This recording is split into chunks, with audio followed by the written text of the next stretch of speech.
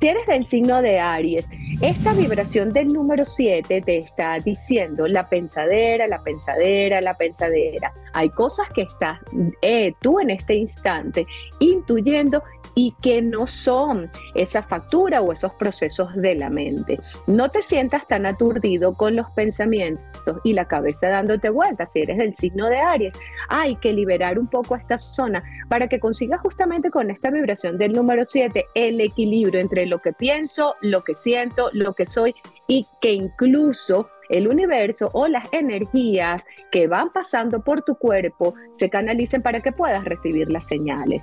Si eres del signo de Aries, te voy a recomendar que agarres sal de coco, sal marina, sales herbales, incluso puedes utilizar una amatista y cada vez que puedas exfolia y restriega un poco la cabeza antes de dormir y enjuagas para que haya ese equilibrio entre la espiritualidad, la energía y el pensamiento.